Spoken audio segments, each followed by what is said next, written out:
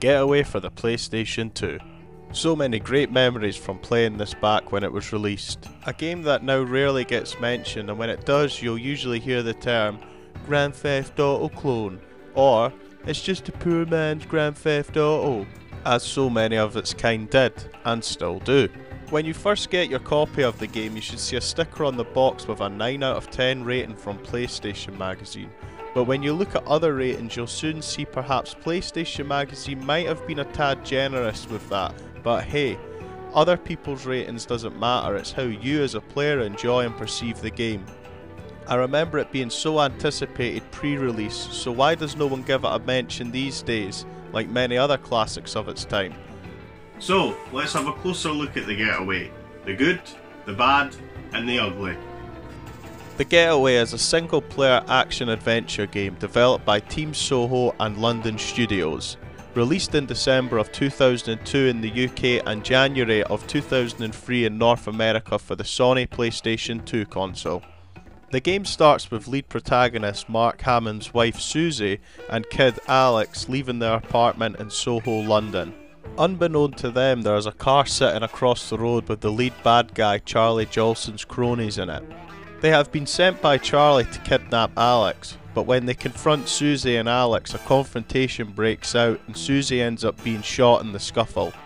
The noise from the gun going off wakes up Mark from the apartment upstairs and he comes down to find his wife Susie on the pavement in a pool of her own blood. This begins the game and the hunt to get Mark's son back. You'll soon find out that the start of the game plays a big role in the story, You'll have a conversation on the phone with Charlie while you're on the hunt to get your kid back. He informs you that you're a wanted man and the police are after you, and that you left handprints on the gun that killed your wife. This is when Charlie begins to blackmail you to get his dirty work done in hope of you getting your kid back. I won't give any more away in case you want to play it for yourself, but I did enjoy the story of this game. It really does make you want to progress to find out what is going to happen next.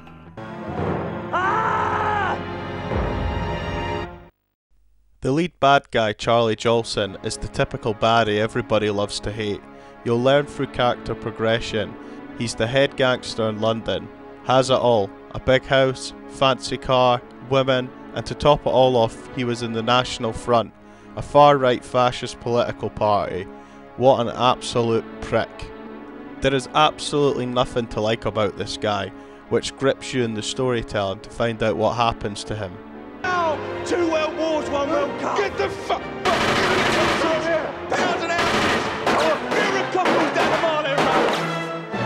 Land of hope and glory.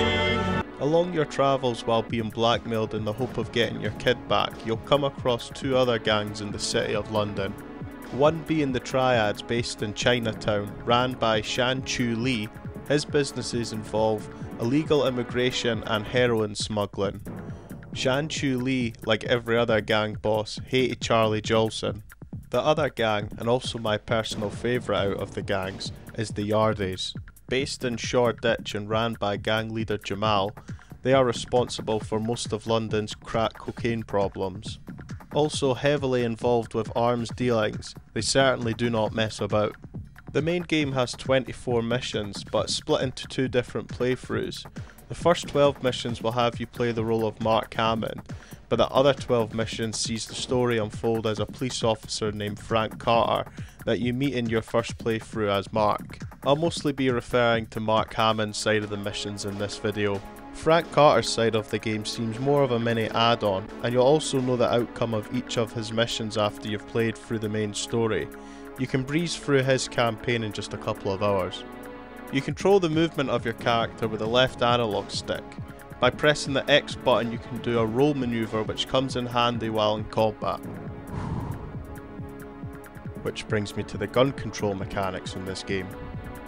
You will always have a pistol on you, but there are a couple more weapons you can pick up from a dead enemy which includes a shotgun or an AK-47. Personally, I try and keep the pistol as much as possible. The shotgun and AK-47 of course are a lot more powerful, but I feel you get more accuracy with a pistol, especially if you're dual wielding. If you do prefer the pistol and you pick up another weapon by mistake, Don't worry, just press the triangle button and it'll drop that weapon and you can go back to using the pistols again. To draw your desired gun at an enemy, you press the R2 button and press R1 to aim at a target and then press square to shoot. I find this a bit awkward at times when there are loads of enemies on screen and also the camera angle isn't always your best friend in this game. You can't manually adjust the camera position like in most games these days, so there may be times you walk into a room and you don't notice there are enemies in there until you're being shot to death. There is a covering system you can use while in a gunfight, but to be honest, I rarely used it. Although I found when I was low on health, blind firing while in cover did help a few times, but that was really it. The covering system is best used for the stealth missions and Frank Carter side of the story. As you may have noticed from the footage, there's no indications on screen showing you how much ammo you have or what your health status is. But out of the two, running out of ammo is the least of your worries. The health system on the other hand, oh dear god. Your health status is indicated by the way your player walks and the blood on the back of them. So, how do you restore your health you may be wondering? You lean against a wall. Yep, you heard me correctly. You lean against the wall until the bloodstains on the back of your character disappear. This drove me insane as a kid playing this for the first time with my dad. I remember being blown away by the graphics and the cutscenes, and it all looked amazing, but we couldn't progress because we kept on getting killed. It was by pure luck just before we were about to give up. The player was standing by a wall, he leaned against it, and we realised that's how to restore your health. It's not indicated in the game manual or nothing. I wonder how many people just gave up and never got to experience the whole game because of this. It's a huge drawback, and even going back to play it again to capture the footage for this video, I really feel it slows down the speed of the game. You could be in an area with bad guys, you're hauling yardy ass, taking triads out one by one, and naturally you're going to take damage but you have to backtrack to find a quiet spot, lean against the wall what feels like forever, and then go back to take care of the enemies. Also, while on the subject of covering and health, look what happens here. I'm coming down this path and I started taking hits really badly, so I wanted to retreat to find somewhere to restore my health. And look, I'm pressing X to roll away from the action, I just keep getting stuck to the wall, resulting in me dying. That almost tipped me over the Ken edge. Getting from A to B in the game you'll be required to drive a car. This can be fun at times but really frustrating at others. There are two ways to drive in this game. The usual being X to accelerate and square to brake, and using the D-pad for directions, which works great in most other games during this time, but I found it really stiff and awkward in this. But here's a tip that might work for you. I actually found using the analog sticks a whole lot easier, pushing the right analog stick up to accelerate and down to brake in reverse, and the left stick for directions. So much easier to control and felt a whole lot fluent in movement. You can also nail some nice drifts using this method for going round corners a lot faster. With the only map included being the one in the game's case, there is no map on the screen so you can't check the best route or even have a waypoint, so you have to rely on the indicators on the rear of the car. This will and should direct you to the right location, but that's easier said than done. There were times I felt like it had me going in circles, indicating me to turn right so I did, then rapidly flashing to go left. It just never made sense sometimes to me, and having a system that poor will never end well when you're on a timer based segment in the car. The game at times expects you to drive like a normal person, but will randomly indicate you to go down a one way street that most of the time ends in disaster. You'll be smashing into cars constantly, which is really annoying because when you crash, it feels like you're stuck to the car you've crashed into, obstructing your path. The cars don't take much damage at all. One or two crashes will result in your car rearing off to the left or right depending on which side took the most damage. Now, I understand and appreciate that we're trying to make this as realistic as possible, but this is a nightmare when you're doing a mission which is asking you to chase someone down or on a timer because you'll have to leave your smashed vehicle to find another. Now, as much as I enjoyed the story and it kept me playing to see what would unfold next, there was a few inconsistencies that don't sit well with me, especially for a game trying to be as realistic as this is.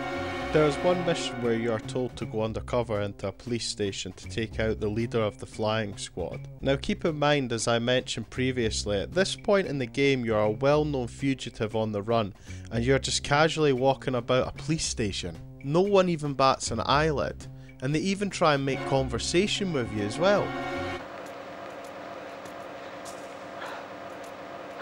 Oh, and don't go upstairs, will you? Another instance of stuff not making any sense is towards the end of the playthrough with Mark.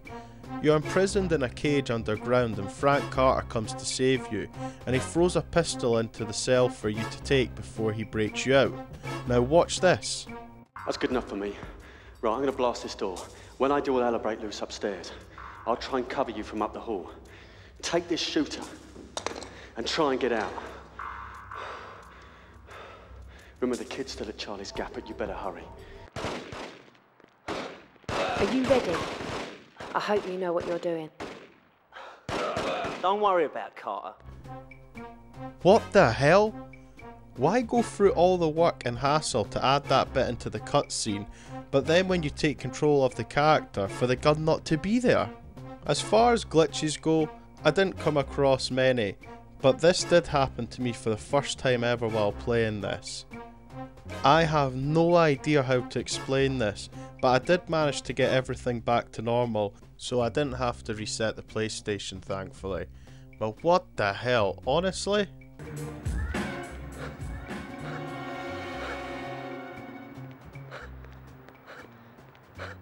The music in the game is really what you'd expect from a game based on London gangsters.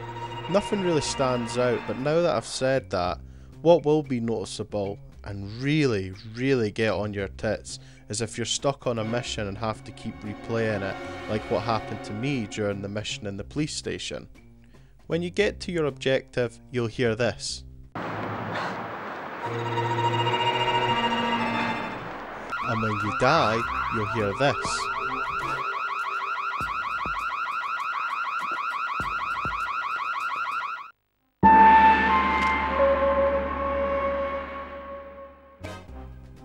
Now imagine if you're stuck on the same level for a while and you have to hear this constantly, especially if the game screws you over like this.